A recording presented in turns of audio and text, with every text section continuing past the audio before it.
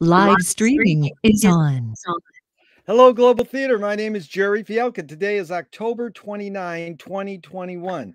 We want to thank Clinton Ignatov of Concerned Netizen. Thank you so much, Clinton. I sure hope you return with a killer question at the end there. It's an honor and a pleasure to be here with Jonathan Feinberg. Is that the correct way to pronunciate it? That's exactly right. Jonathan, where are you calling from?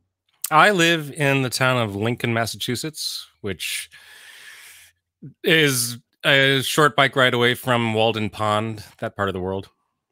Oh, how cool. First question is What's the best thing for a human being? Hmm.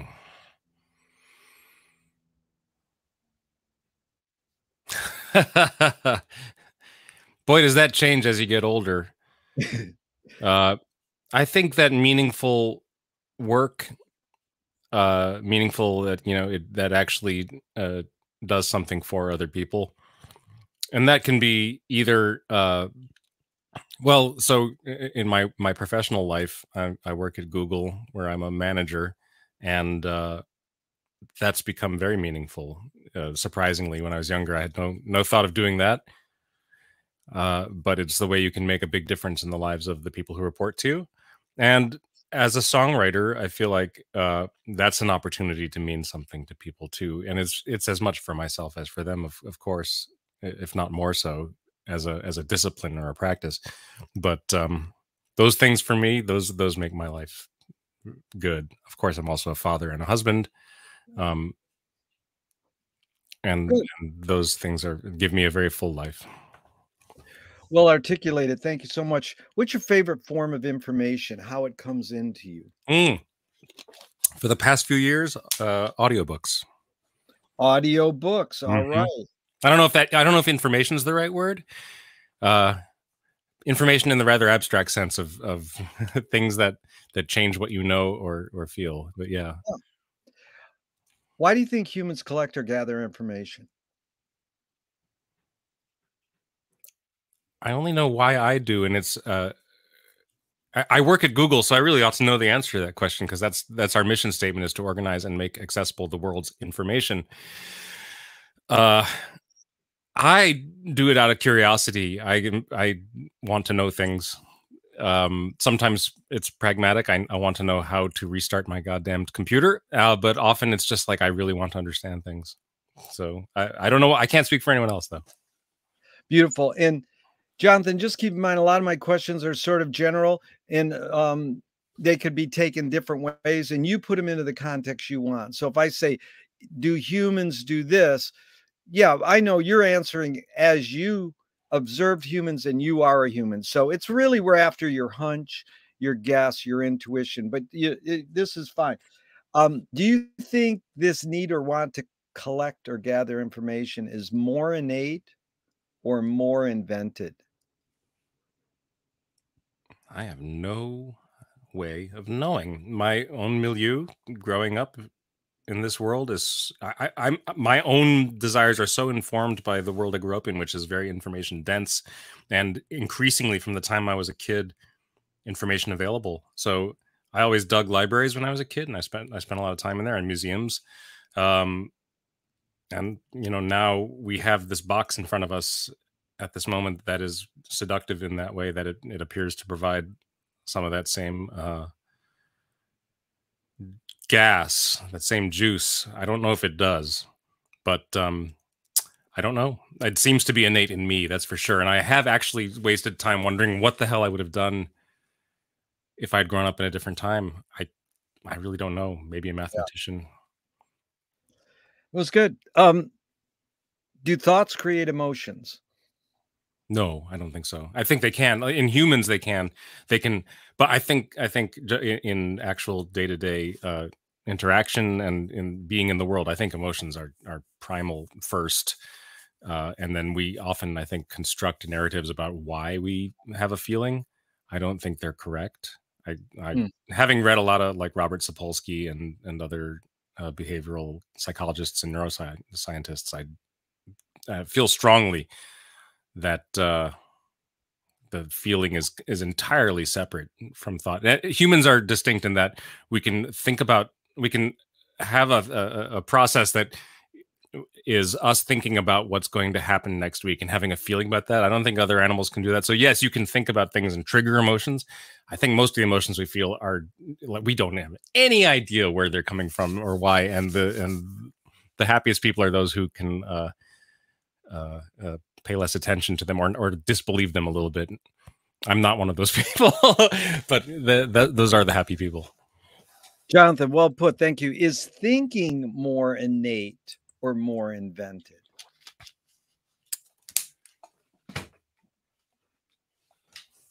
I think thinking is is too general a word to answer. I, I think that problem solving is innate, uh, you know, figuring stuff out.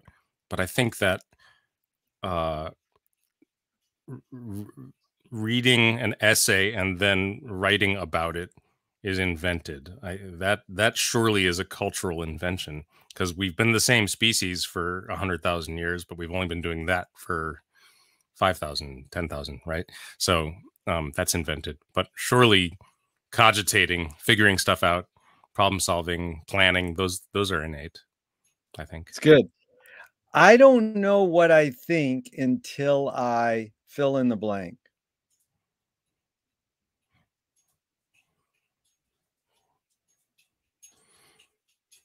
Have a conversation with someone I trust. Whoa, that was good. Can humans think without language? Uh, probably, but I don't know what it would mean. I think it's a it's a little like asking, do animals think? Here's my here's my dog Milo. Right. what what timing he came in? right at that. Yeah. I I uh, surely something must happen even in the absence of language that we we'd have to call thinking because that's what brains do, but I don't know what it yeah. would mean or how it would work. Yeah, Chomsky says an interesting thing. He says that a language is not whoops just words. It's a culture, it's a tradition, it's a mm. unification of community, a whole history that creates what a community is. Jonathan, what do you do when uh, when language doesn't work? When language breaks down, what do you do? Hmm. I uh, hmm.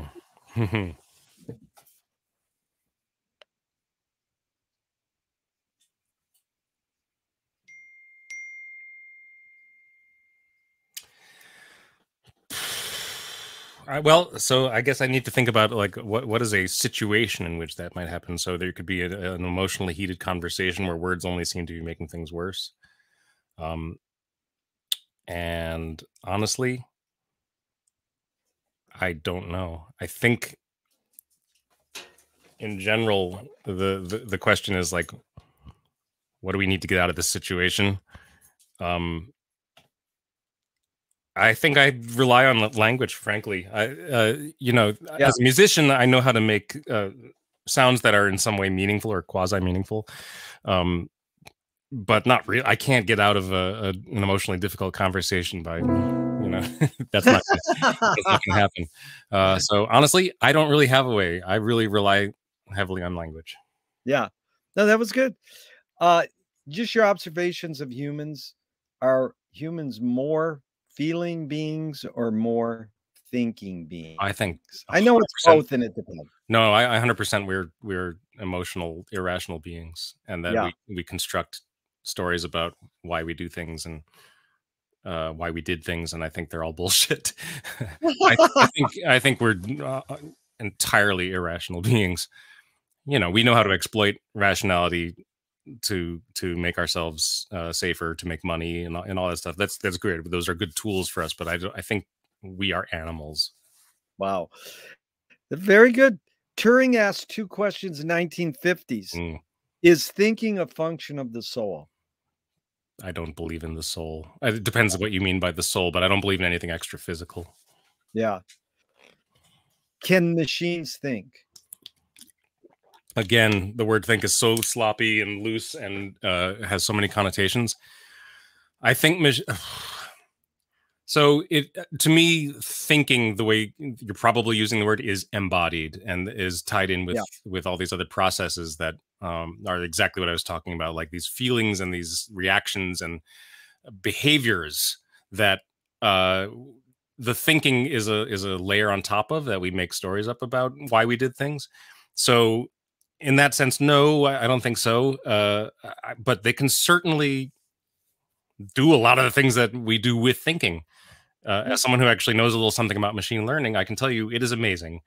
And it's so deep, in fact, that um, these systems that we initially developed as a research effort to understand human consciousness are now, in fact, so complicated that we have people getting PhDs in order to figure out how machine learning works, like empirically. Like we know what we did to cause this to happen, but we don't really understand the model that's been built or why it works the way it does.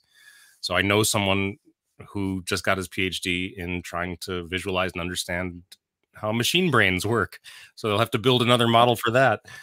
Um, so yeah, no, that was good, Jonathan. That was very good because you know my quest in in doing these questions 35 40 years is i'm always after different wording or mm. the person rewording the question to clarify it more so you changing that to embodied was beautiful mm. you know can machines think and embody do you more pursue happiness or more pursue meaning I I think I might actually have set myself up for this question with the first answer. I don't I don't know how to distinguish the two anymore. I feel like. The the more meaningful my actions, the happier I am. It seems they seem yeah. to be together. On, on, the other hand, I'm also older than I used to be, and I think uh, there's some kind of uh, mellowing that happens with age that I'm really benefiting from. I am so sorry. My dog is is barking to be let out. I will let him out. Then I'll no, no, that's no worries at all. what? We just want to remind listeners they they can uh, check out Jonathan Feinberg's wonderful website and pursue listening to his music and things he's done as a software engineer, as a computer programmer, and his career as a drummer. And now he's pursuing more songwriting as a lyricist. In fact, a very witty lyricist. And so, uh, remind viewers that very good. I just okay. got to plug some of your um, great accomplishments. Oh, and so onward and upward.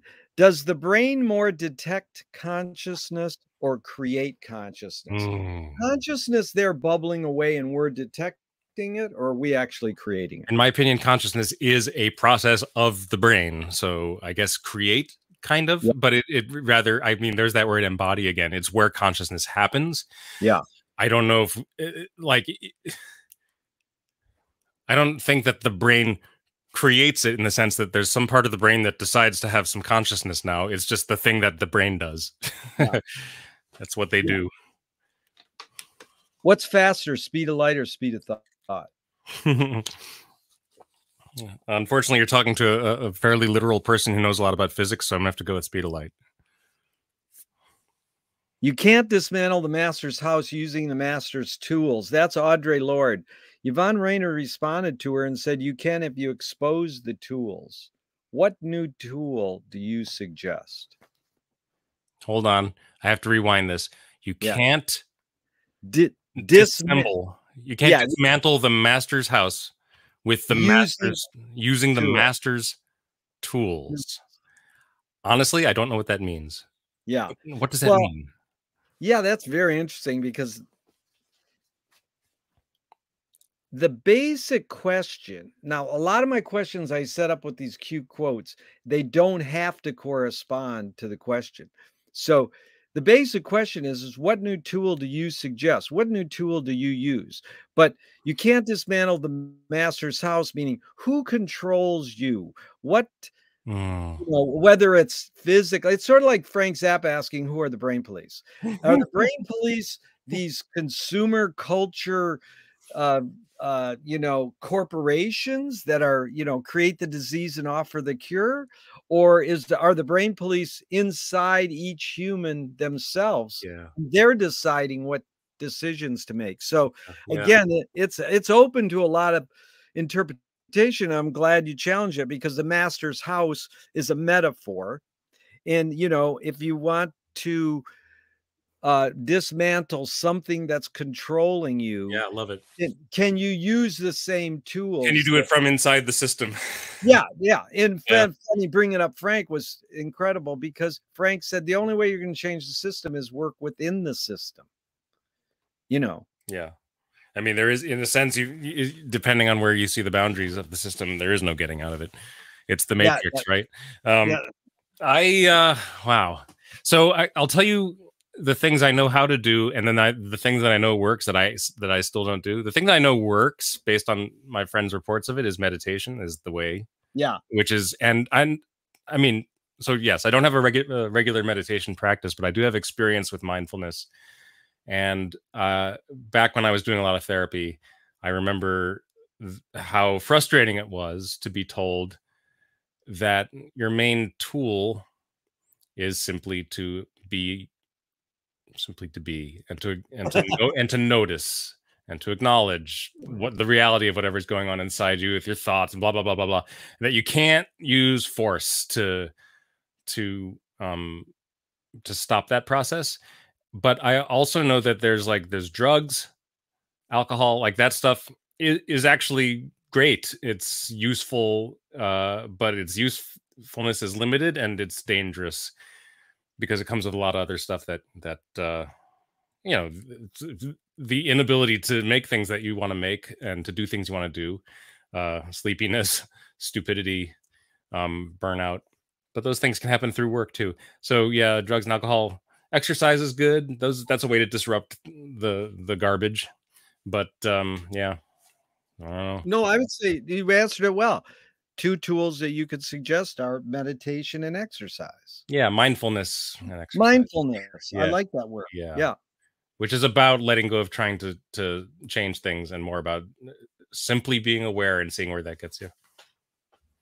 What do you worry about when you go to bed at night? Oh, everything. I worry about i worry about um whether i'm a good parent i worry about whether i'm good at my job uh i worry about climate i worry about um how my kids are going to do in this world that i don't recognize um i worry about our country and how just fucking insane the situation is now i you know i i was just remembering that i i used to wonder what it was like to live in one of those countries to live in a place where uh, there's a dictator taking over, to live in a place that's uh, to live in de- the the the declining days of Rome. You know, the things you read about as a kid. And now we know it's like this. It's a drag. So I, think about all those things. Yeah. McLuhan learned from Ezra Pound, the poet, that artists are the antenna of the race. Mm. They're broadcasting and detect, detecting the hidden psychic effects of our inventions. Mm. So we don't know how the internet has changed us really. A couple people a couple people have studied it Mhm. deeper. Mhm. You know that in just your profession. But you know, we embrace our in, our inventions and you know, we shape our tools and they shape us. But and then Pound's main thing was so that you look to the artists to reveal these hidden psychic effects so that you can learn to cope with what you don't like about them. So McLuhan's main thing was why do we still ignore the hidden psychic effects of our inventions, even though the artists reveal them to us? I think it's actually related to my last answer where I mentioned drugs. Yeah. I think that um, those aspects of the internet that I, I think you're getting at, or, or at least the things that I think of when you talk about the potential Yeah. harm, uh, are are essentially the same as drugs. That Yeah. there's a, a the constant feed, the uh, upvote downvote, um, partial reinforcement schedule of social networks. Um, I, I think about Facebook a lot. Uh, it's a catastrophe for the world. Like they gave us a lot of this dystopia that I've been talking about. Um, and yet, if it weren't for Facebook, I don't know how I would have become a songwriter in the past few years. I don't know how I would have connected with those people who I already knew, but who who came to mean something different to me as uh, uh, people I can engage in mm, uh, uh, peer critique with, rather than I'm their sideman, right? Like I became, I I moved to a different level as a musician. I think, um, and I don't, I just don't know how that would have happened without Facebook or something equivalent to it. Yeah, maybe you know, it would be lovely to have a thing that that's that part of Facebook without them pushing toxic nonsense uh, and and disinformation. So right, but Jonathan, you really said it well because the way we connected was through my wife, Susie Williams. Yeah, right, right, right. We wouldn't be doing this. Yeah. As songwriters. Yeah. And yeah. it was beautiful. And I just said, Hey, I want to interview this guy after she played that witty song to me. And Elma's, I was like, this is so two things that it resonated with your answer was McLuhan said, word is the most addicting and universal drug. So, you know, what you did was something he leans towards is everything humans invent have both services and disservices. So then you uh-huh. started telling me a service of Facebook and uh-huh. a disservice. So then you suss that you that's like the big picture, comprehensive awareness. Very good. Are you more afraid of old ideas or more afraid of new ideas?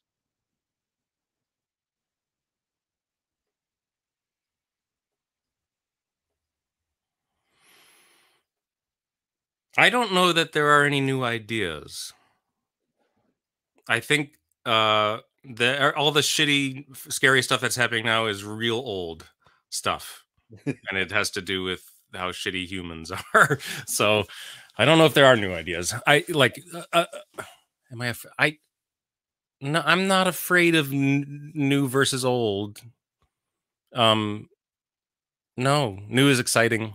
Uh, new in art. It, it, like again, it, it's hard to actually come up with anything that hasn't already been done. Like I personally, I write antique songs. I write songs that are antique in form, uh, that are meant to stimulate uh, a, a, racial or, uh, a memory, a human memory of a of a musical form or a time, and then maybe tweak it a little bit to, to amuse you uh, or to move you. Uh, there are many people who who create new music but of course they're using guitars and drums right they're not they're not you, you how are you going to make an entirely new sound? So um i don't know if i believe that there is such a thing as a, a an actually yeah. new idea. It's beautiful. Well put in um susie did want to relay a, a, idea to you is she just got these two words today somewhere and said tell jonathan i want to write a song with them called cliche alert. And I says, "Well, you got to read Marshall's book from from cliche to archetype, because we have what do is we take cliches and when we turn them into archetypes. So, anyways, I, I, that that that really captures exactly what I was trying to say about uh, the way I, I many of the songs I write. I think are yeah, that's that's exactly right. right. I mean, they move from a cliche, which basically cliche change the root of the word wasn't something negative, mm.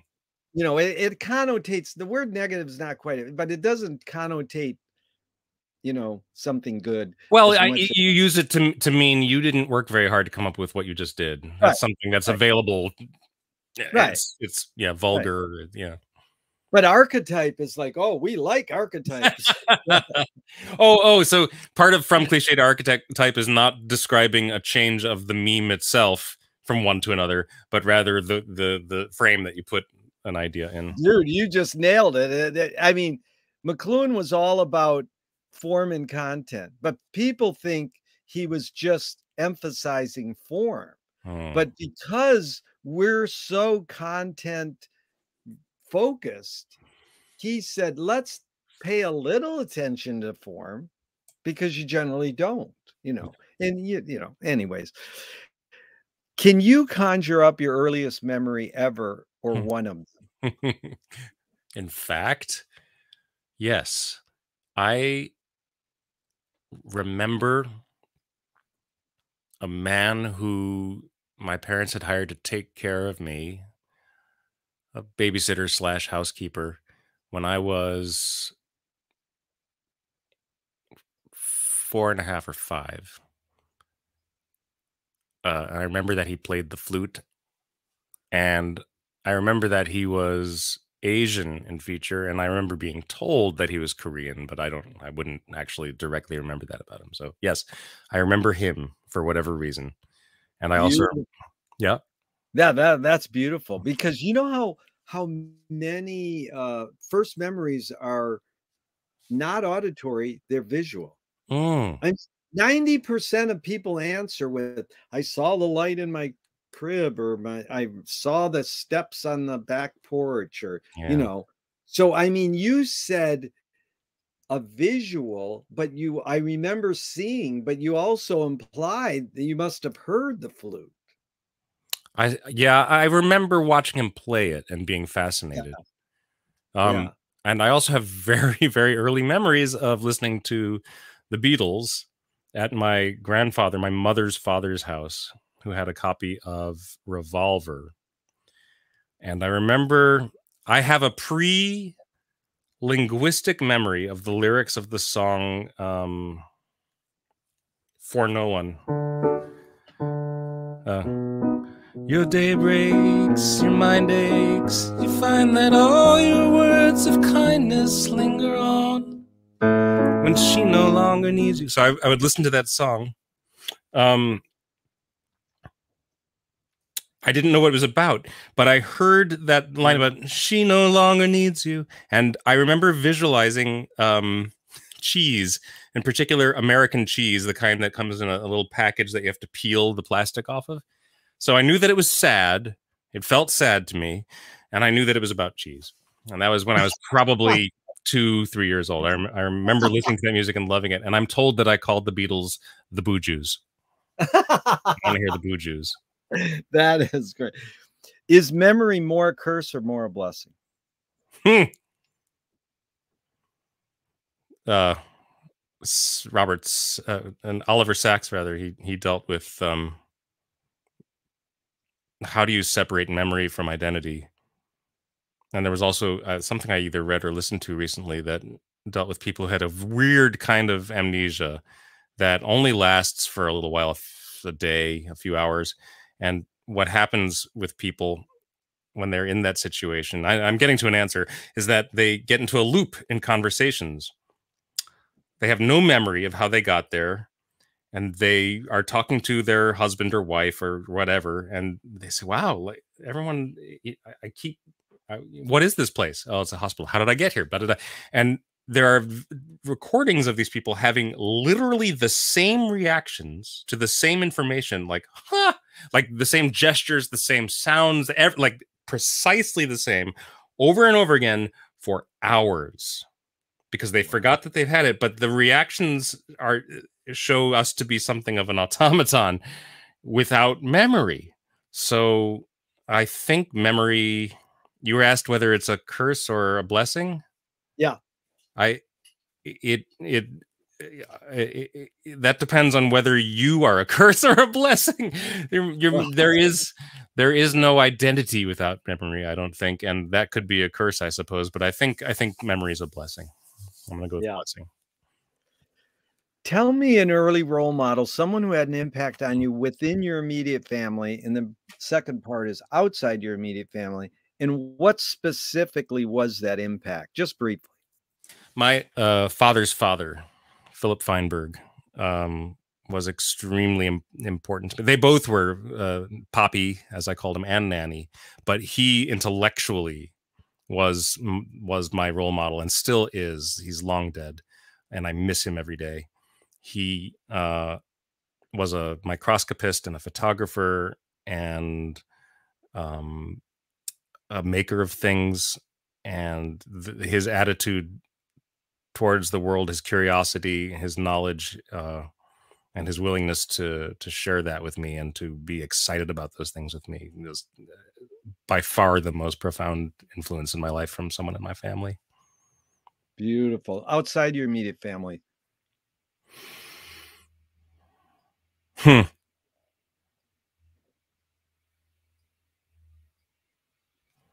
I think of a couple answers.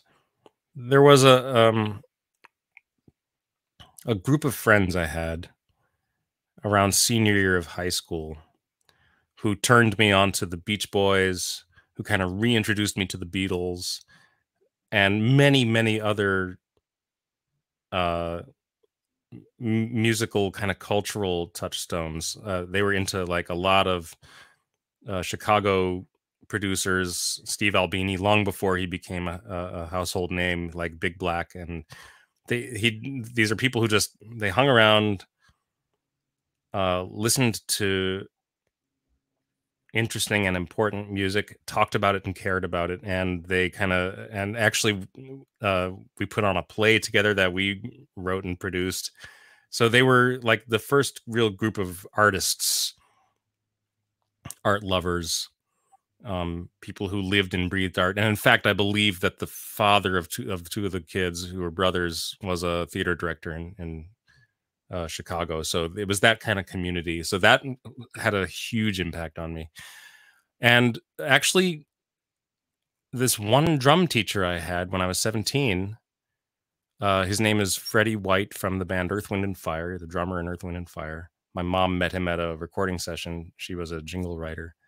And uh, she said, Oh, my son plays drums, which is what Jewish mothers do. And he taught me that summer. He gave me lessons. And that was it really turned my head around after at the time i remember being very very concerned with am i gonna am i good enough to be a professional drummer i was really worried about that like am i good enough i um it, yeah do i measure up I, I however you want to put it and he was the guy i mean i remember the things he taught me as a, as a player but i also remember his attitude was like that's the wrong question you have no wow. business thinking about that.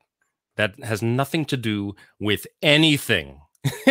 he was really he wasn't angry that way, but he was really adamant. Like that is you is so beside the point of what we're doing here, and that had a huge impact on me. And I remember he taught me how to hit the hi hat and how to hit the snare drum. We didn't do a lot of technical stuff like exercises for coordination. He was just like, "Here's how you pull the sound out of this instrument." And so those things really as a musician had a lasting, lasting impact on me. Beautiful. You have ESP because you anticipated the next question. did your parents raise you a particular religion? Hmm. And mm. the follow up is Did you ever check out or are you still practicing? Um, yes to both. I was raised as a uh, Reform Jew in a Reform Jewish community. I was bar mitzvahed, and almost immediately after my bar mitzvah, I dropped out entirely. I literally the reason I know that it's Hanukkah these days is because my kids who aren't Jewish um come home with a menorah from school you know like, oh must be must be hanukkah i can teach you the prayer i don't believe in any of that stuff myself but um yeah so yes i would i and i cherish uh, culturally like all the jewish stuff i love I just this morning I took a pictures of my uh, uh, uh, an Instagram picture of my bagels and lox, um, and, and I and I love you know culturally the um the kind of uh I don't know attitude affect of of a Jewish family like I love I love yeah. that whole thing, um so yeah I have nothing against Judaism culturally or anything like that but I I have no stomach for um religion for God, uh, none of that stuff. Do you pray? I do not. If God exists, what do you want God to say to you after you die? That's a Bernard Pivot question. what, what, what, does that mean? Uh, there's a TV show that used to be on uh, inside the actor's studio, and uh, uh James, oh, James? would end every interview with uh, "These are five questions from Bernard Pivot." and one of them was if when you after what, I must have got it from him. Is Bernard's last name? How do you spell that last? I would name? guess it's P I V O T. That's wild. I must have got it from him. Yeah. okay. Anyway, if, God exists, what do I want him? Oh, I I want him to say, um, you did okay. You yeah. did all right. You know, my my worry in life is uh, have I been a good father? Right. Like, so if he, if he were to tell me you did okay, that would mean a lot to me. Beautiful, and thank you for sourcing out my questions. I, I've collected them for so many years, and I try to remember where I got them, but that is good. I'm enjoying them. I, I it, it came at like I really thought we'd be talking about my work, or that you'd be asking me like who who what who are you, what do you do? But it's just like okay, let's let's go do this, this other thing. Yeah, no, it, it, you, again, you put them in the context you want. Do evil people exist, or does evil use people as a vehicle?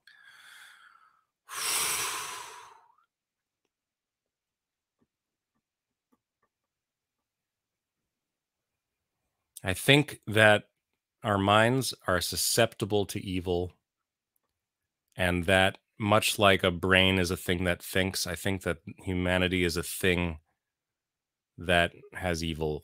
That that evil is uh, a system that benefits a few at the expense of many, and yet that exploits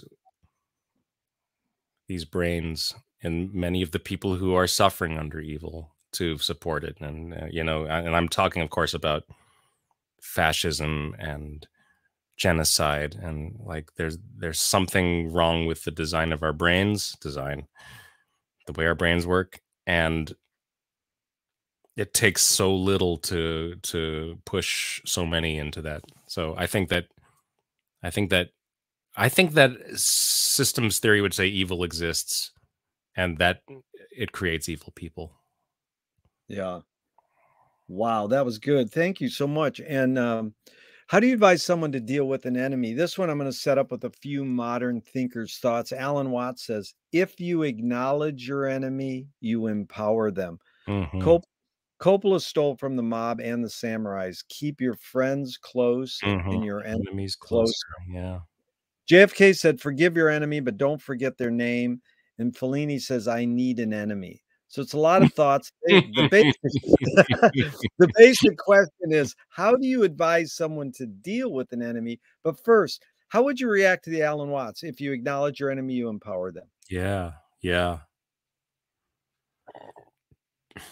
I that sounds right to me. I'm I'm I'm spending a moment trying to frame my own experience uh, such that I can find someone I could consider an enemy to consider the question. I don't know that I've ever, since I was a kid, where there were bullies or whatnot. I don't believe I've ever had anyone who was out to get me or who wanted me not to succeed. Which is what I like. I think of an enemy who want is someone who wants something that you are in the way of, and they're going to do whatever they have to do to get it. And I don't I don't think I've ever been in that situation. So I don't know if I've ever actually had an enemy. But let's think back to when there were a couple of bullies at school who really resented me for my whatever, you know, uh, wealth, um, apparent uh, happiness. And I certainly had no lack of family or material wealth, right? And these were kids who had tough homes. Um, I wasn't thinking of it this way at the time. So they were kind of my enemy. And I don't think that not acknowledging them helped. Uh, I, like that just I guess I would have to know what Alan Watts meant, and it's hard for me to relate to. Yeah, no, no, it's it's interesting because people go, if you don't acknowledge your enemy, you empower them.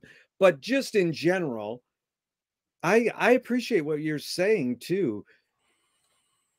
When just say one of your kids come home and they, there's a conflict with yeah. another human and yeah. you could say well that person like it's it's amazing the word enemy has often been put in context recently as bully you know and they say hey bull, there's a bully at school how would you advise your child to deal with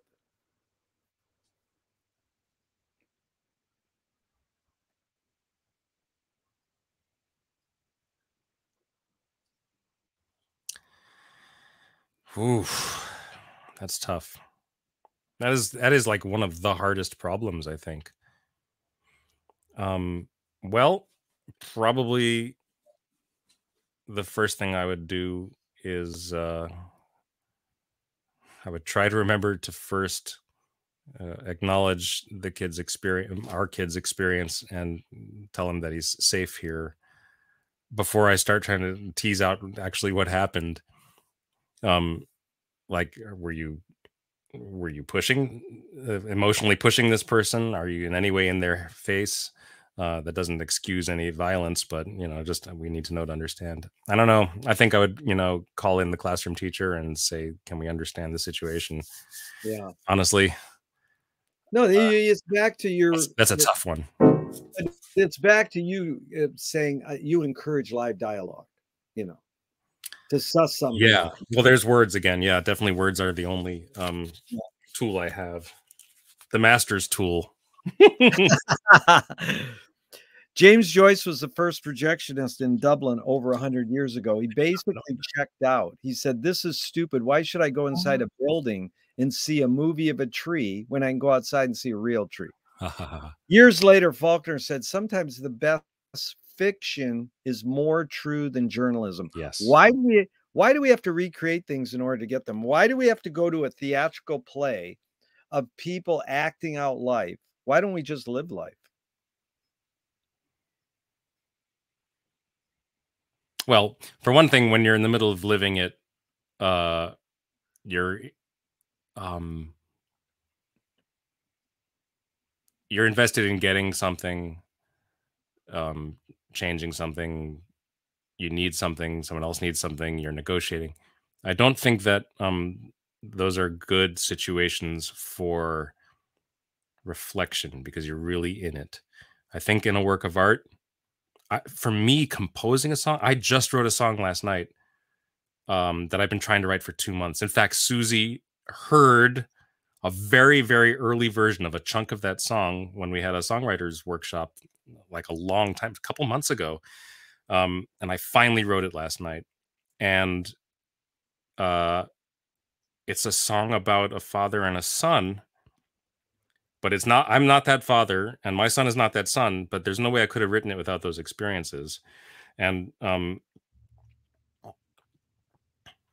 i think that i learned even by writing that song let alone you know if, if someone hears it they'll have feelings uh but i learned something from it. So um i think art is uh it's like it's like um you know plato the the parable of the cave uh we have virtual reality now it's the same kind of thing. And i think that if you put on a play you are uh manipulating in a sense people's minds you are giving them real human experiences of things that can really happen to people um safely uh, you you are you are tricking their minds into having experiences that are just like the real experiences they would have, but they you can heighten them uh, however you want. You can emphasize certain things. You can um, you can uh, obscure other things, and you can create tension and you can release tension, and those things create pleasure. Um, and you know you know Charles Eames said, "Who who is to say that pleasure is not useful?" So, uh, all those things together are why we do that. Like you, there's nothing wrong with life. Like living life, that's good, but there's also it's really valuable to have art as well. Really well put. So, Jonathan, that leads right into your sort of pursuits, your careers. Um, one being a computer engineer, software engineer, mm-hmm. computer programmer, yep. and the other one being a drummer into songwriter. That's right. So, yeah. So, um, would you say um, you you sort of touch on the Beatles and the Beach Boys and your your your core community group creating theater? Where when in your life did you kick over and say I can be a drummer? Like, what sort of kicked you over, and then what sort of kicked you over to saying I can be a computer engineer and then what kicked you over into saying i can be a songwriter hmm. you know those 3 mm-hmm. main things just sort of those the tipping point kind of moments the first one you ask about when did it tip over and i i became a drummer i thought i can be a drummer actually never happened i think i was always very very fearful um about my ability to make, make enough money to live. Um, and I also did not enjoy a lot of the work you have to do unless you're one of the very few very lucky people who like hits it really big with a band. Um, i didn't enjoy that kind of work. I didn't like i didn't i played one wedding when i was in music school and i just hated it. I didn't want to do that anymore. Um i i did a broadway show as a drummer. I, I was a sub on a broadway show but i played hundreds of performances and uh, i liked that but i didn't i didn't want to do that for a living forever. So I, I, I, and I could have, I could have done what you right. asked about. I could have had a tipping point. Um, but there's something about me that that just didn't happen, and I was always on the fence. I was, and there was a lot of on the fenceness in my life. I was on the fence with particular bands I was in. Do I really want to be in this band? I don't know. I was on the fence with what career I had, and so I was freelance computer programming. I was doing some drumming. The money that I needed to live came in trickles from music and in larger floods from computer programming because people are willing to pay much more for that in general. Um, so it didn't happen. Um, computer programming was from the time I was a pretty small boy. I happened to grow up in kind of a golden age of accessibility to uh, access to programmable machines. The library had one. A friend of mine had one eventually i had one or two of these little tiny computers you'd bring home but i at that time the only way to use them was to write programs on them. There, there was you could there were some games and stuff and maybe a spreadsheet but really they were machines for programming and i just loved it from that early age. When i was in college i my senior year took the introduction to cs class which was you know too late but it blew my mind and it gave names to concepts i had kind of stumbled upon on my own and then in New York, living with a, another theater company and doing this and that. I had some money and I studied some more computer programming at continuing ed at NYU. And eh, I, at some point, I just started getting work. Yeah. The big flip came when uh, my first son was born. We were living in New York, and there was some genetic switch that turned off on me, and I was like, I I got to get a career. Like this, being a musician and working at a startup and all this stuff isn't isn't going to do it for me. And just through social contacts, I got very very lucky, and I got a good job uh, at IBM in Cambridge, and it just happened. Like we it, that switch just kind of flipped itself. Yeah. The songwriting. Uh, so let's see I've always been a multi instrumentalist. I've always been able to play drums, guitar, piano, um, and I've always been fascinated by the construction of songs. And so I've always recorded covers to whatever extent I could. But uh, really, the most important development has been technology. I now I'm sitting next to here. I'll show you this box um, right here this box here so this box right here and this box here and this box here um, those those things uh, make it possible uh, with a little good taste and a couple of good mics to um, you can basically get about 80% of the quality of a real recording studio for less than 1% of the price of a real yeah. studio and so i was able to push a little harder on my pleasure and recreating songs kind of as production etudes. I just like i would listen to a beatles song like how do you how can i make that sound? It's just a, yeah. a bodily need i have to do. So i started doing that and i shared a couple of them on facebook. I'd mentioned facebook before and people responded nicely. I i was a, i was a little bit nervous about my voice my singing uh, I shared a few more and I started going well. And I don't know where it came from, but I had the idea to do a project called um, uh, Coverage, where I solicited song requests on Facebook. Uh, and I asked for two things from each person a, a song, a, a, song you want me to do, and it has to be one that you unironically love. No, you can't just give me one because you think it'll be hard and funny to watch me fail. No, it has to be a song you actually love.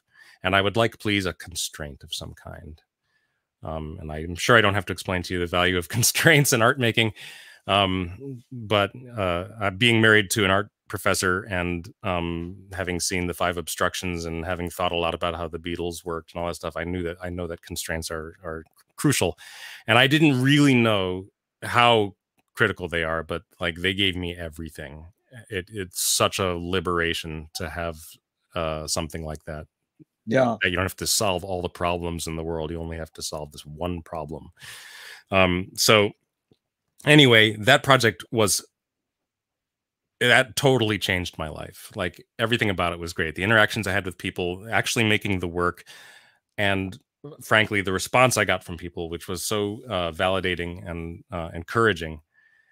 I got to the end of that about a year later and immediately had the idea to do a project where I solicit ideas for writing songs. Yeah.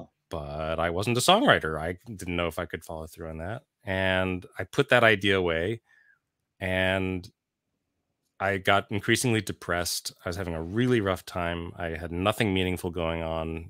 And one day during a walk, I remembered that idea again. And I felt so happy just having that memory. I was like, oh, I got to follow that no matter how risky it is, no matter. I don't have any reason to believe I could succeed at that other than that this project I just did. And I just, I, I did it. I just like put myself out there. I said, please give me ideas for songs. And I never, I never said, I don't really know what I'm doing. I was like, nope, this is, I'm doing this. I'm to write these songs. You give me the idea for the song, I'll give you a song. And around that time, just stuff started happening. I got involved in this Brown University uh, alumni thing where uh, there there was a, a, big collection of little mini musicals all edited into one piece called Together Apart, and I was asked to write a song for that. Uh, okay, yeah, sure, I'll write a song for that. I figured that'll be easy. Like I, there, I there's characters, they've got a script already uh, there's going to be some problem that they need to solve. Like there's a beginning, and I knew I know about all that stuff. I know about how to write a scene because I've read books and whatever. I can do that. Whatever. Someone else in that project asked me to produce their track. Okay, I know how to do that. I produce all day, um, and just that first song, I just I sat down, I wrote it, and I was like, okay, I can write. It. I wrote that. That was easy, um, and it just kept happening. Like I, I just I kept without looking too closely at it and without worrying too much about it. I was just like, okay, I'm just going to do this now. And I just kept doing this now and they were coming out pretty good. So I, I just, that's how it happened. That's a that very, was, very long answer. No, that was really good because it helped. It leads into this perfectly, Jonathan. A screenwriting teacher told me a great film or great art, great music is when you can clearly see the intention of the maker. Oh, Kubrick oh, yeah. says the opposite. Great art is when you can clearly not see the intention of the maker. I think T.S. Eliot was on Team Kubrick. Yeah, there you go. What role does intention play in your creative process? Mine. Uh, it is the whole thing. And and it's the reason these these uh, projects are so valuable to me is because they take a lot of that work out of the process. I'm given a, uh, uh, an idea, uh, an intention, right? I I get that. I don't have to solve that problem anymore. I know kind of what the song's about. Um, then it's just a question of uh, it's almost like uh, trying to find something that's already there. Um, so I would say that the intention is a hundred percent of everything. It's it's the whole like they say in acting that listening is everything, and I think that um, in songwriting it's kind of similar. You're you're listening to and reacting to uh, the idea that, that you want to express. It can be indirect, but yeah. yeah. Really good. Duchamp said there's no art without an audience. How much are you thinking of your listener when you're writing your song? I think that when it's going well, I'm not at all. I think I, I'm really being true to some almost there's like an archetypal that's the song I'm trying to write is there I'm not thinking about the people who are going to listen. Believe me, I think about them a lot after I've put it out there, and I wonder what's it like to listen to my song. What do they think when they like? Do they feel it? Do they think it's funny? Do they think it's sad? Um, but in the eh, when it's when I'm in the the the pleasure of the creation of the thing, uh, zero, nothing at all. I'm really searching for the thing itself. McLuhan says everything we invent extends some humanness. So, uh, clothing could be extension of our skin. Knife and Mm. fork extends our teeth. You Mm. know, whatever. Philosophy extends something, some humanness. What does the piano extend for Mm, you? mm. What hu- what humanness? Yeah, uh, it's a good question, especially because like I have choices for instruments to write on. There's piano and there's the guitars behind me, and uh, or I mean, theoretically, you could just sit and think a song up. Yeah. But um, uh, and I have written songs on guitar.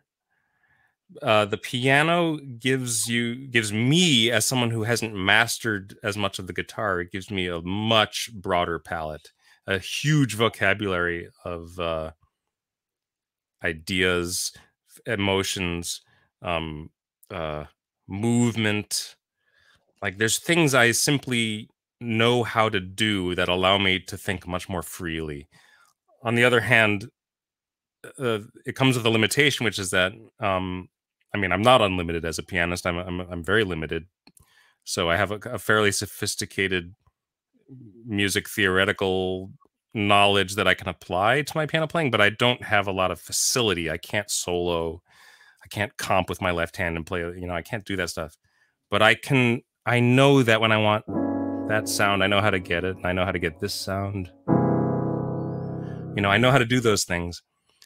But the thing is that the genre that come with those sounds are of a particular age. So that's why I wind up writing antique songs. And it doesn't bother me yet, and it, it hasn't limited me yet.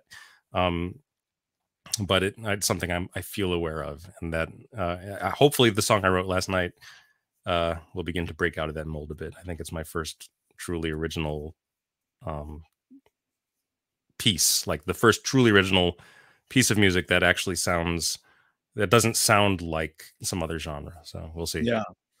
Very good. Uh, my friend calls uh, talks about the three tenets of music: T's, taste, technique, and theory. So Mhm. you learn how to play the keyboard. You know what you're doing. The technique, you know how to do it. The theory is what you're doing. How does one acquire taste? Uh, I don't know. I don't know. I, I, I, I- I would. n- It would be a a little arrogant to say I have good taste and here's how I got it. I certainly have taste. I have, you know, uh, uh, I, in a sense, I feel like I was uh, born with a propensity, let's say, and that I was lucky enough to have it tickled in the right way at the right time. So I, re- I described listening to the Beatles at my mother's father's house, and uh, that like at that very early age, there was something about that that was like, this is it. This is this is the thing that I un- that I relate to. This song about American cheese slices. Um, Well, that's good. Let's go. What's more, what's more fundamental, language or music?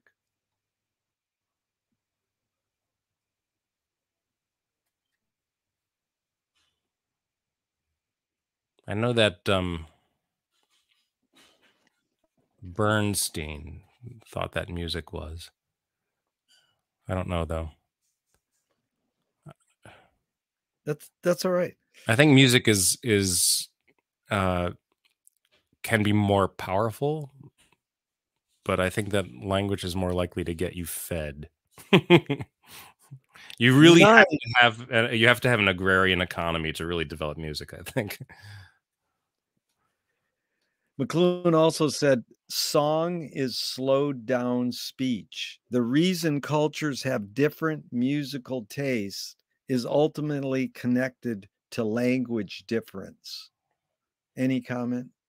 I disagree. I feel like it's heightened speech, heightened Yeah. human expression, not slow. Yeah. I mean, I've heard a lot of music that's way faster than speech. so Yeah. I disagree. Yeah. Um, tell me an instrumental that, that makes you laugh. Laugh. Can't be, it can't be Spike Jones.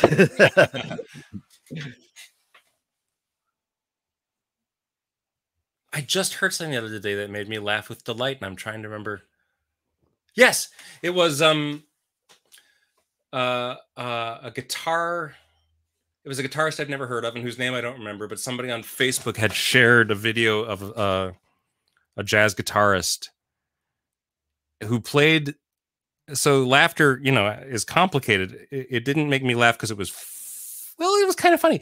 He played this incredibly beautiful lyrical melodic solo, and at the very end, he, he hit a, a harmonic, and there was something so um exquisite sublime about that thing and it was so and it just struck me as so funny and i laughed out loud so there you go that's yeah. the most recent piece of instrumental music that made me laugh no, that that's beautiful because I, I especially me i'm such a name dropper and I asked this guy once, uh, "Who's your three favorite funk guitarists?" And he goes, "I don't know. The guy who played behind Joe Tex." And I yeah. goes, "It's so great you don't know his name because yeah, yeah. oh this guy." And I I want names, and I was like, it made me happy to be without a name, you know. So that's like imagining see we can have something touch us our wise and then we can just imagine how they made it we don't have to know mm. exactly how they made it though you can go to books and tutorials and they'll mm-hmm. say this is how so what what do you think your hunch what was the motive of the cave artist you know i've just been talking about how badly i want to see that uh, werner herzog movie again i want to show my my 12 year old that movie did you see this this movie? He oh made, yeah. Oh, it's just. I usually it's funny you say that because I usually go, "What's the motive of the cave artist?" Not what Herzog says in his movie or the yeah yeah yeah or the New Yorker article he got. I, don't, I don't even know if I agree with any of the things he said but, in the movie. I'm happy. I'm I'm happy for his movie. It's a great oh, movie. Oh, yeah, it's, it's, great, it's a and it's all all the per- people who pursued um, cave art and anthropologists who have studied it. But I'm just going for yeah. like hunch. And it's wow. even the sad thing, Jonathan, is we don't know cave music, although he touches mm. on that a little. He says, here's a flute. We don't yeah. know we don't know cave dance. We can imagine, but we had to just have this one medium preserved, yeah. this sort yeah. of like, wow. I'm very, very moved by uh, those cave paintings. Yeah. They're I they the the the the sensation of bridging this just unimaginable gap in time between one human and another. And you know they're beautiful. There's there's such good paintings some of them like they're you know i was saying before there's no new ideas. Nobody's done anything better than that. Um you know many people have done beautiful great things but no those are amazing. They're really beautiful.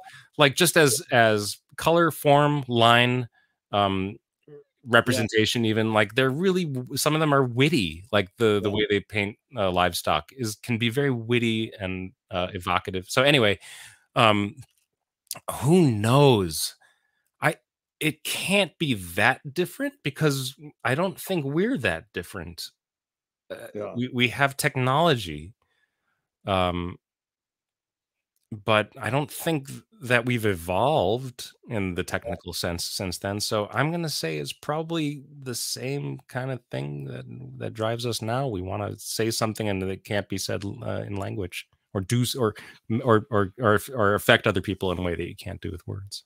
Well, it's so funny you said that because that's Gary Snyder said my task as a poet is entails seeing the world without language, then putting that mm. seeing into language. Mm. Oh, that's that's really great. That's one of the best poetry things I've ever heard. Actually. Yeah, that, that is really good. But you touch on a lot of great things there.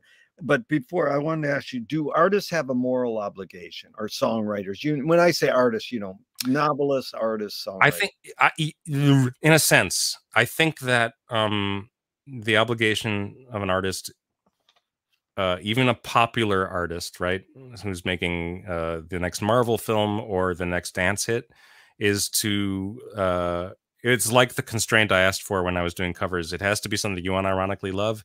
I think that uh, an entertainment has to be heartfelt. I think that if you don't do that, you're an asshole. I, I think, and I think even uh, sat uh, parody can be heartfelt. I think that um, a silly comedy like the the Farrelly brothers films. Like there's something yeah. about very can be extremely seriously made with a great deal of attention to detail and respect for the person you're making the movie for, even if that person just wants to laugh and forget about everything, you you gotta put as much of your intention into that as possible. That's that's how I feel. Well done. A, a film teacher of mine said his mantra was ignore yourself. Jonas Mekas says there is no self-expression. Mm. Cecil Taylor, the great jazz pianist, said, I'm just a vehicle and this just comes through me. Yeah. So this question again, it depends and it's and it's both, but is art making songwriting more self-expression or more you're a vehicle for whatever culture or technology is dominant? But what is self? I mean, um how do you separate that? All you have is you. The only um, uh, machinery you have for creating the artwork is your uh, your own um, uh, artistic programming, your life experience, your memory. Um, that that's all that is that's all you have so no matter yeah it, it does i i kind of begin to understand what a person might mean by i'm just a vessel for this uh, I get that, but it's very much like the discussion of free will. Like you only this is all you got, and um, when it's like I said, when it's going well, I feel like I'm searching for something that's there. Obviously, that's not true. I'm I'm making it, but it, it's a it's an unconscious process, and I'm generating and I'm generating and I'm generating. I'm searching, and then when I when I see it or hear it, okay, bam, I get that down. Let's let's remember that. Um, so that was good. Let's let's on self. Yeah, you know, uh, John um, John from Negativland said uh, Missy Elliott learned how to sing from car alarms.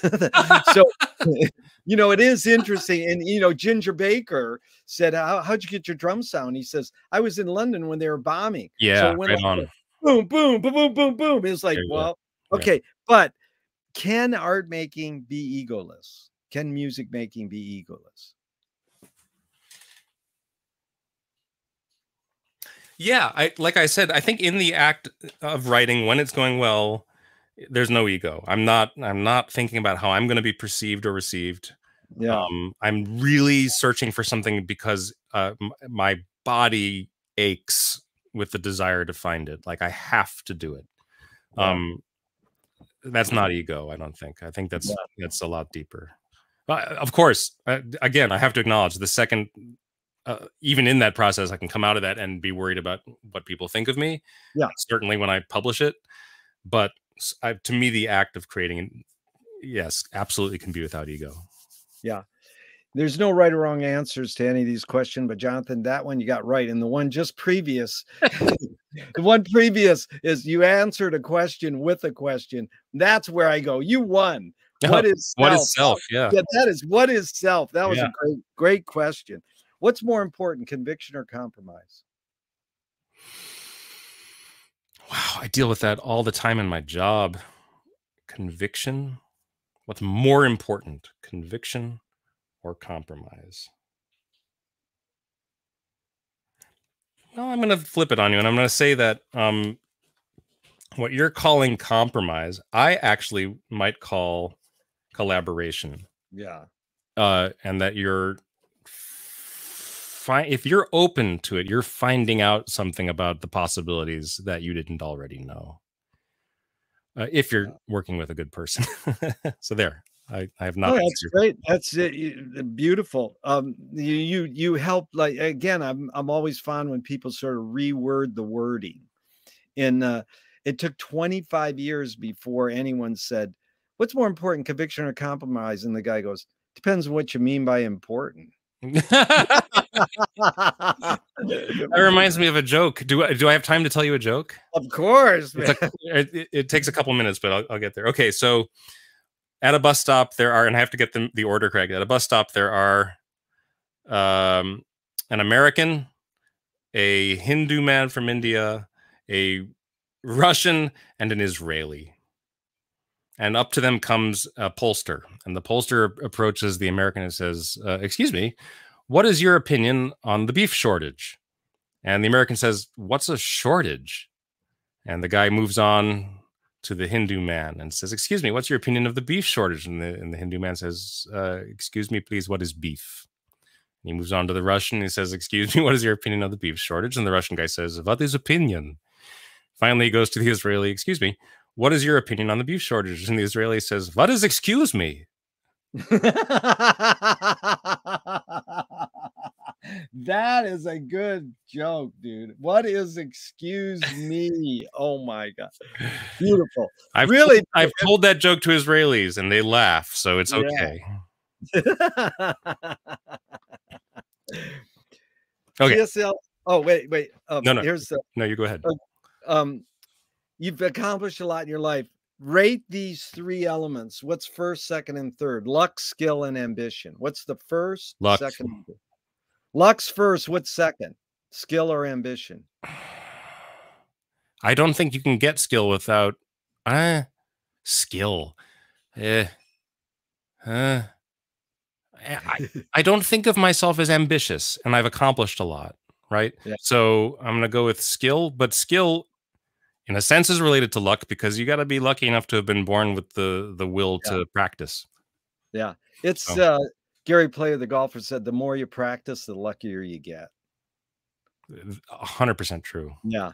But I did want to go to the wit thing because you brought up wit. I find your lyrics extremely witty. You know, you played with they might be giants. eh, Those guys are witty. Yes, they are. What's the you know in satire? You could talk about satire a little because Jonathan Swift compared satire to a mirror in which people could see every face but their own. And you also touched on something that Zappa does that I've observed, and people don't realize it in general, is that he reverently satirized what he loved. Mm. He reverently Well, you're describing Spinal Tap when you say that. That that movie was so impactful for that Yeah, reason. exa- And it's also why I, I never liked any of Christopher Guest's other movies because I didn't feel like he loved dog show Oh. people. And dude, I am this. I feel the same way. oh, so cool. tell me the roots of you know you getting into wit and just comedy so Mm. are you growing up watching south park or simpsons or whatever I'm older then- than that. it, was, it was Monty Python for me, and, was monty python and the early days of Saturday Night Live, and and early saturday night Yeah. live yeah Monty Python. I think was actually really, sadly, well, Monty Python. I had uh, albums that I would just burn through over and over again. They were Monty Python, George Carlin, Richard Pryor, Lenny Bruce. Um, all of those things were really important to me. and my father uh, would read S.J. Perelman and Ambrose Bierce. And so I was exposed to all those things. Um, but it was really my, in a sense, it was my father uh, himself uh, who uh, kind of, I, I, I would, I didn't quite model myself after him, but I, I feel like I have a similar sense of humor to him. Um, yeah you they he applied it. You you had all these but he was there live. And you know i just interviewed all these same questions to george's uh carlin's daughter kelly. And Mm. you know how many people don't take my suggestion? It's like there's no rush here. Silence is okay. So before every question you've sort of either closed your eyes or you you sense you center but most people think they have to have a conversation boom boom boom you know like immediate and i'm asking them a lot i'm asking these big philosophical questions you Yeah. can just off the top of your head but she would take a deep breath then she would crack up and i would crack up then she would answer because she's like a buddhist and a, a jungian depth psychologist now oh, I don't know anything about her. I've never even heard Oh, it's, really fun. And and she had to be a drug counselor at age 10 because her parents were druggies. so, anyways, yeah, I see the roots of your comedy because I find it sophisticated too. And when you said Perelman and Ambrose Bierce, I, I, I should. I also have to acknowledge my mother and her side of the family. My mother's mother was a songwriter. Uh, Yeah. My mother was a lyricist, um, and she also danced with the USO in the in the fifties. yeah, Um, so, and and she was a witty person as well, and and Yeah. funny and charming. So certainly, I, I have both of them. But the, the the kind of dark or slightly more satirical bent of my work comes, I think, more from my dad. Yeah. And that leads right into this. You create what you resist. So I'm not saying you, one creates nope. what one resists. Bob Goldthwait morphed it into you are what you hate. Oh. Joyce actually Joyce actually said, It's curious thing how your mind is super saturated with the religion in which you say you disbelieve. And Luis Buñuel nailed it. He said, Thank God I'm an atheist. Just so that sounds like the Marx Brothers. Okay. Yeah. Yeah. So just off the top of your head, I mean, what how do you respond to this? What you resist persists. Oh, for sure. What you resist persists. Yeah. Or you create what you resist. Well, I mean, what what what is there to resist other than the thing that you got that you don't want? You're you're yeah. making it. Um yeah. Uh, am I still coming through clearly? Because I'm getting a warning that oh. my microphone appears to be noisy. Oh, no, that just that pops up once in a while. You're okay, sweet. Um, yeah, I don't think I have a better answer. yeah, anger can be a productive emotion when fill yeah, anger is a gift, is what um, uh, Rage Against the Machine said. It can be a productive emotion. Uh, yes, when there is either on a large scale or a small scale an injustice, um, it's a tool, right? It's a it, eh, there. When you become angry, and it depends who you're talking to, how effective it's going to be. You are triggering something in someone else, either fear, or a realization of the seriousness of something to you um uh yeah so when the stakes are very high when it's life and death when it's existential when it's un, when there's something deeply unfair i think anger is appropriate but unfortunately it's not always going to work the way you want it to yeah very good, Jonathan. Really appreciate this. Moshe Feldenkrais works with healing and movement. He says mm. it's literally possible to identify a weakness and incorporate it to become a strength rather than we're normally taught to overcome a weakness. Yes, absolutely. Tell me a, tell me a weakness you turned into a strength. Mm, mm.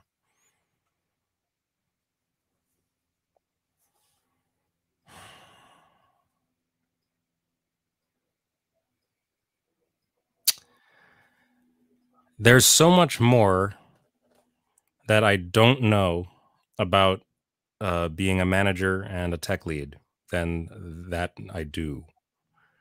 Um, and I believe that my willingness to be openly ignorant and vulnerable to an extent uh, creates uh, a psychologically safer environment for the people who report to me. So for me not to be um, omniscient and uh, to act like I have all the answers. It also, by the way, generates a, a good space for collaboration when it's going well.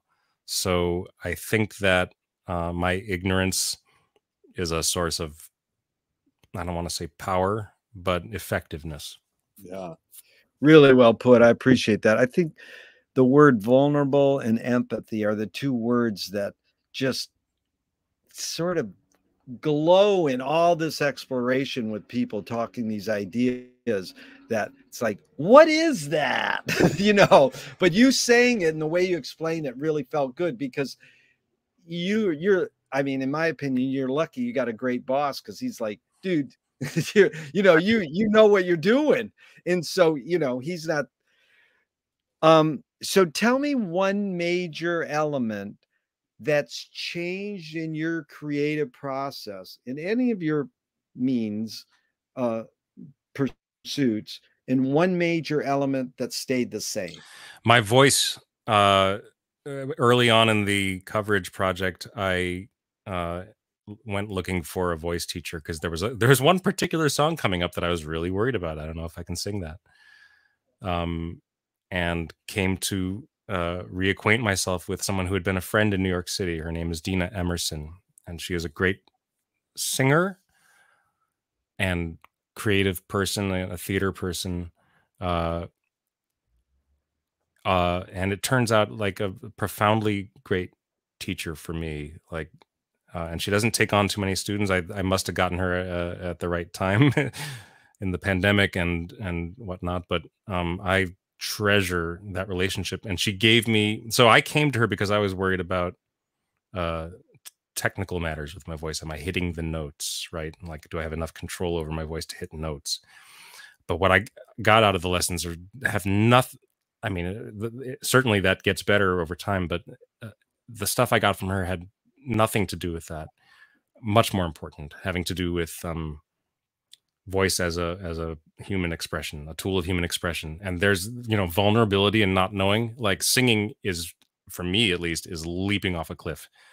Mm. It is the most exposed that I ever am when I'm singing.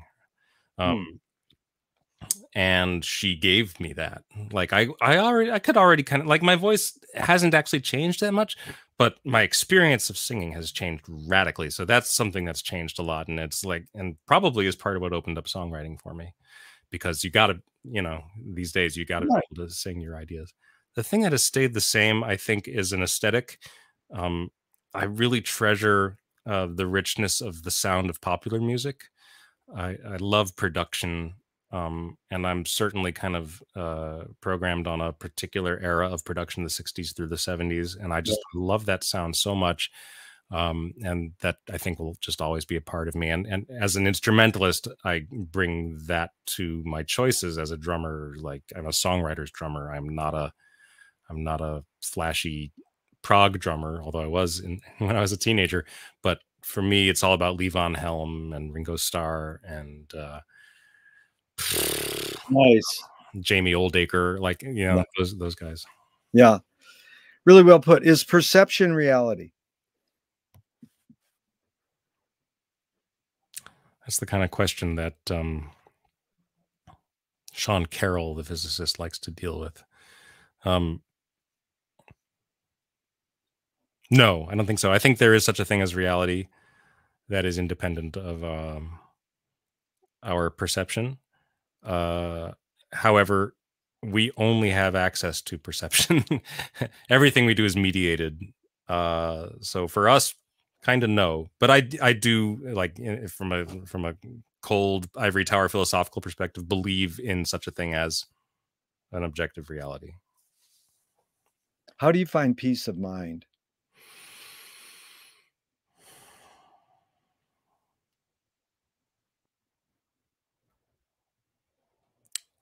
Uh, finishing a project feels real good. Finishing a song these days is is the most the greatest peace of mind I have.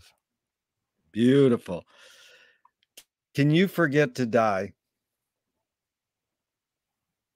No, you can uh, definitely forget to live. Wow, that was a good cup.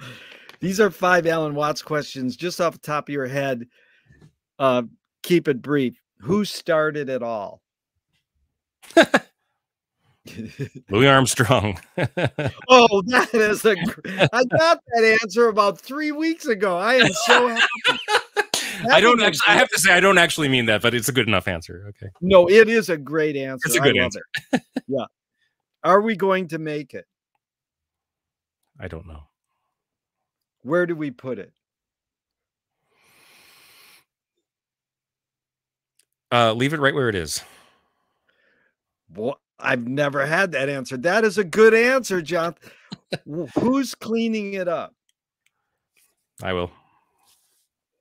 Beautiful. Is it serious? Yes. Wow, this is good. Well, we got a few more and then we'll bring Clinton in. If you were walking down the street today and you met yourself as a 12 year old, what would you say to oh, your 12 year old self?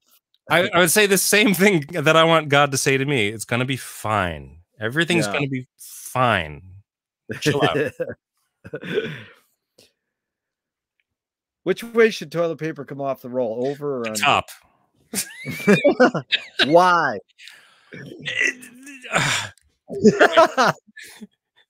First of all, I'm going to appeal to authority and then I'll appeal to my own design sense. The authority is in the patent for toilet paper. It shows it that way. Dude, secondly, I usually tell people that. That is amazing. You know that, really. Secondly, just let's look at it as you know, we are the design consultants on this. Well, let's see. if it's under, you have to reach under something. It's the place where it joins the roll is invisible to you, and although you can visualize where it might be, you still have to kind of work harder. Tearing it is more difficult when it's behind. When it's over, it is immediately apparent where that place is. Also, you can put your finger on the roll and hold it while you tear, which is difficult to do when it's under. So there you go. You you are a massive. Thank you uh, so much for asking me that question. Oh, uh, well, usually but if we were doing this in front of an audience like 60 people, everybody sighs relief because I finally asked a you know like a normal question. Anyways, really fun, Jonathan. No one's ever said that pat thing to me. I'm really impressed. Um, tell me something good you never had and you never want. so it has to be good. I've never had it and I don't want it. That's it.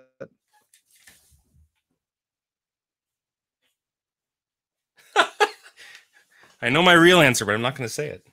All right. Well, that's the ESP because you you won't believe what's uh, coming up. Yeah. No, I, will I'll say what I was going to say. I just I if my kids see this, I don't want them to see this, but the answer is a threesome. Yeah. Eh, it, it, That's it, always the answer, right? Good. No, that isn't. You know what the the the answer is the most sex. I mean, not sex. The the answer the most is money, fame, and heroin. Oh, yeah. Yeah. I've never had heroin, but I, would probably try it. okay. If you were in a vat of vomit up to your neck and someone threw a bag of shit at your face, what would you do?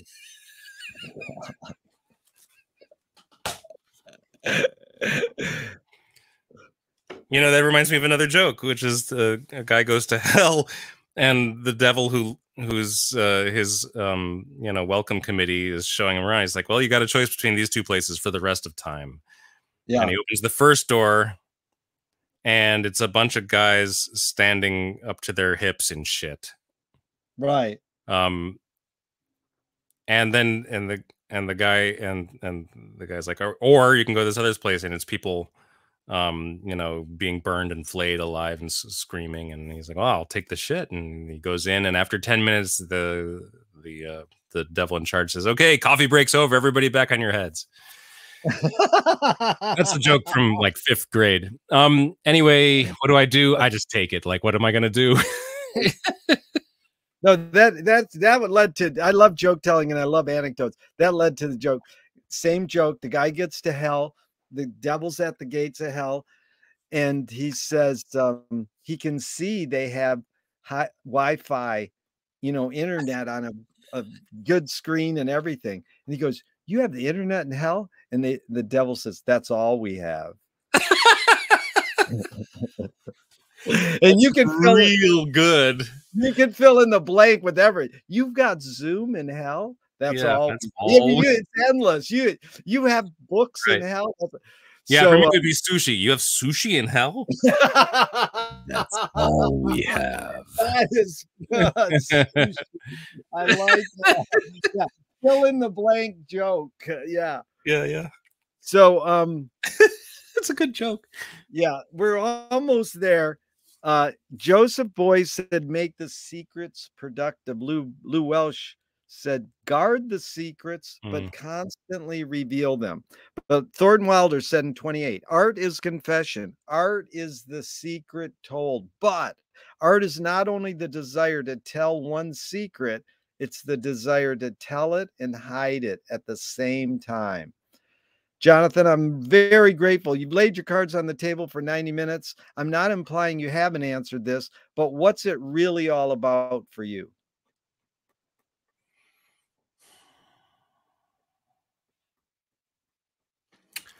I think that the process of uh, finding out that secret is uh, what draws me to it. It's not. It, it's less related to what I'm revealing to you as as a, a person experiencing my song.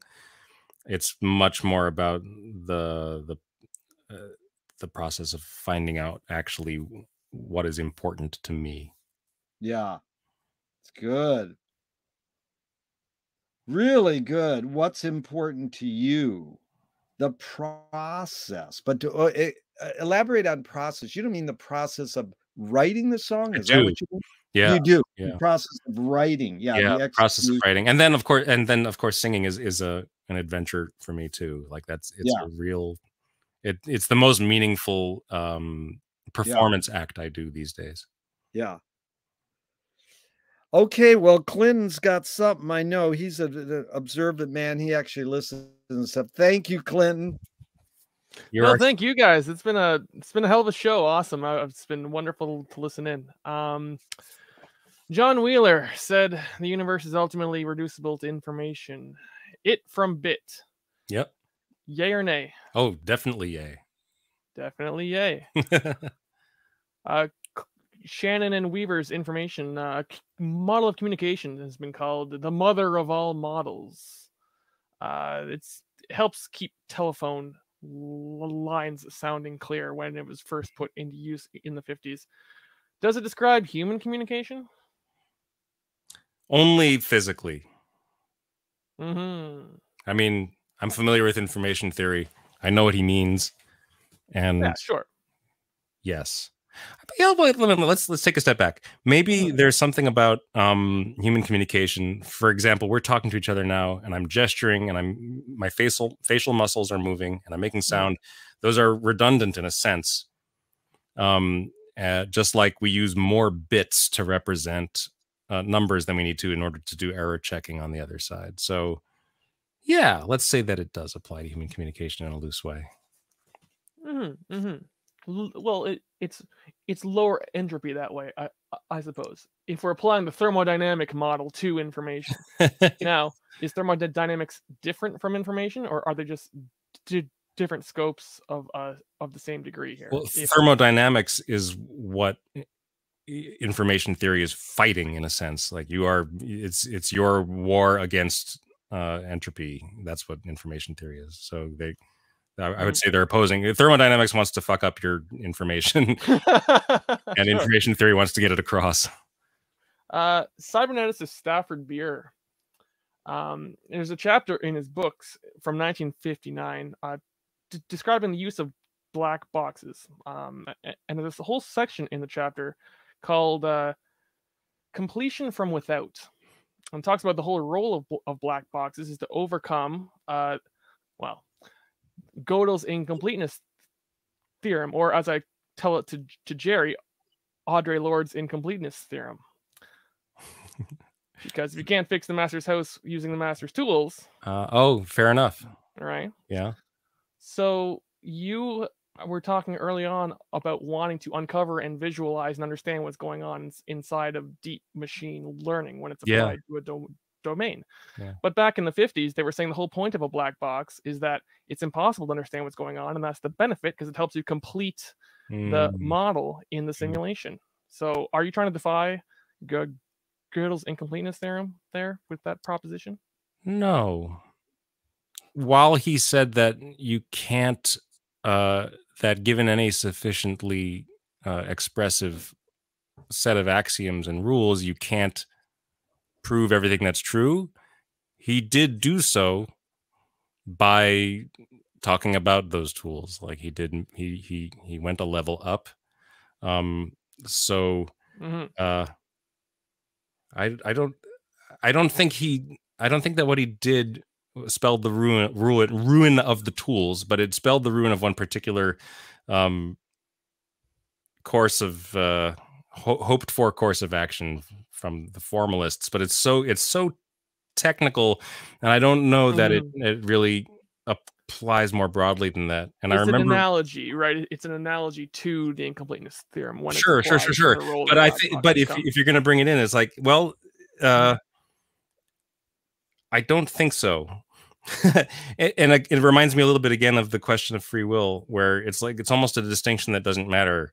Like even if I believe, as I do, that physics is essentially deterministic, it it it does not have any real uh, change into how we conduct ourselves, how we feel, what we believe, how we go about our day. If you compliment me on the color of my shirt, I'm not going to say, you know, it was ever thus, it was meant to be. I don't know. Thank you. so um, I, I I would say it's a it's a distinction that doesn't actually say anything about uh, the way we we live. Mhm. I I agree. Um, you made you made a point about the movie house. Um, Joyce preferring a real tree to a picture of, of a tree, and Mm. your go-to point would. By the way, I think uh, that's bull. I think he's lying. Okay. well, for sure, for sure. The, the way Gerry asked the question, though, what Yeah. got triggered in you wa- was this response that uh, it's hard to have time for reflection when you're in something, when I you're think so. in a Yeah. situation, right? Yeah. So that immediately, for me, ties back to your your uh, discussion about feeling exposed when singing Mm. or or just pure extemporaneous being in action in a moment you're in it and Mm. yet somehow you're doing the right thing because as a musician or as a singer you've trained yourself right so Uh, y- yeah so is there a difference in in being between extemporaneous being in the now do you need to be um to have Mm. self-reflection I- uh, yeah, I, th- I yes, I think so. I think that w- while you're well, all right. There's two two things I can say. One is that I got good enough at drumming that I could, while playing drums, uh, think about what I was doing and notice and observe and um, adjust. Wonder whether I put a quarter in the parking meter. Right. I can't. I can't do that while I'm singing. While singing takes every ounce of my attention and i'm and in fact there are moments in drumming I, i've i've often described uh, drumming slowly. If you're playing a slow song you would not believe how much room there is between two notes in a in a slower song like dun, dun, da. there is an ocean of time between each of those quarter notes. Ample opportunity to fuck up and, and speed up or slow down or just make a mis- not a mistake but just like screw up the groove. And singing is like that times 10 like every single microsecond of singing is uh, uh, for me involves all of my consciousness I, I don't think it's supposed to be that way i think that you're supposed when it's going well you're in the emotional truth of what you're trying to get across but i'm not there yet I, i'm still like kind of figuring out physically what I'm doing, how to get the pitch right, and all that stuff. So, um, yeah, I don't. I think that in the moment, I, if I the second I do any of that stuff, any uh, any kind of reflection about it, I'm screwed. Like I can't. Mhm. There's Mhm. there is absolutely zero room for it. In, in is that there something generalizable about that outside of those specific domains let's say like having a conversation with someone at I a bar Uh, yeah, I I think so. So I guess my answer to that is what the actors always say, which is, um, uh, if you're doing anything other than listening to the other person, you're probably not having a, a good conversation, right? If you're thinking about what you're going to say next, then you're you're Yeah. missing what they're saying. That's uh, that's what I would say. well i had notes and i've hit about uh ah yeah i'll call it a day it, it's been fantastic though uh thanks Thank for uh, sticking around for my little bit at the end here Jonathan, I think your little intro on your website was really intriguing. The little illustration of you know what you used to Oh. do, the pictures of the uh because I mean Clinton is deep into knowing people not knowing what the laptop is or the cell phone is. Mhm. It's sure useful. uh, well I, i'm a richard stallman GNU zealot i suppose in a nutshell right so in that regard Mhm. Yeah. insofar But- as but breaking do- the black you have- boxes Yeah, no, that was brilliant, Clint. I mean, Clint usually does one or two, and that was really good how you guys carried on. And we, we should just do another mashup sometime where it's all three of us. But do you have a couple more minutes, or you got to run, Jonathan? Because I'm really milking it here. But I, I I had one more thing I'd love to bring up, but if you got to go, If We're it's if it's truly just one more thing, I, I can certainly give you. Yeah. time. yeah, yeah. you know, because Clint, you would know, you know, Bob Dobbs, the the fake Canadian Bob Dobbs came up with the android meme, and it's basically that humans uh, invent things, then they create hidden psychic effects, then we end up imitating the hidden psychic effect of the invention. And that's what the android meme is. I mean, is that basically that's sort of like we go, I had a dream last night and it was like the movie. So we use the movie to tell our dream. So, you know, it's these hidden like We don't know what the cell phone has done to us, but we're already. I'll, I'll- one more little example. I'm sorry, I'm being up to is um people put their they used to put their cell phones on vibrate and then they would take the cell phone out of their pocket when they went to bed put it on their bedside stand and feel phantom vibration Yes, that's I've, on their leg I've felt them So on my leg. I, I have done yeah that. that's a that's a puny example of the android meme It- but it's deeper than that Sure. with, like what movies have done to us what zooms have done to us Yeah. yeah. Yeah. any any reflection on that you know Oh yeah. There's a famous uh, uh, Star Trek episode uh, that that uh, I'm sure at least one of you knows about, where there's a, a culture where people only communicate in memes. Essentially, they the only their whole language is is based on a series of metaphors about things that happened in the past. Uh, and uh, there are there are these uh, trope phrases that they use to evoke. Darmok very on s- Jalad at Tanagra. Exactly. So uh, we have that again, or we have that now in the form of what we now call memes, which is rather a, a limited application of the word, which is like little pictorial, little moments from media with words on them. Right. We we take the uh, situation of uh, uh, Scotty in this in this Star Trek reboot not want or no Star Trek uh, in Mission Impossible, not wanting to do that, but also not wanting to do that, and we use that to describe the, the sense of the horns of a dilemma by using that picture of him doing that and putting the words there, right? So, uh, but not only do we do that, but I 100% believe the many of the people I hang out with, we develop that same shorthand where we really are talking that language, and and it even extends to uh, kind of signifiers uh, about tone, like. Uh, snark, irony, those things are uh, almost background. Those are taken as a as a as a they're taken for granted as a an emotional tone for certain utterances in certain Oh, yeah. circumstances. Even or maybe especially when we're talking about truly horrible things that are happening in the world. You know, if we're going to talk about war, if we're going to talk about Trump, we're going to talk about this or that. Like, there's a, a certain amount of snark that I think is 100% informed by that kind of media net and, and internet environment. Yeah. Well, let's continue this on. The funny thing is, is Bob Dobbs would say, yeah, and then the Android memes are just talking to each other and we've disappeared.